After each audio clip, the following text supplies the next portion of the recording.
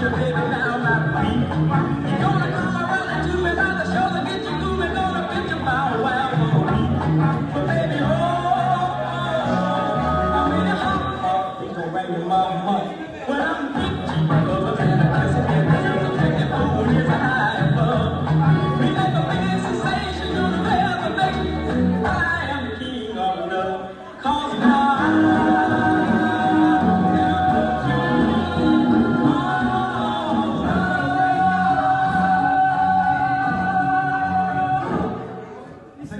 20 minutes left, so let's keep going.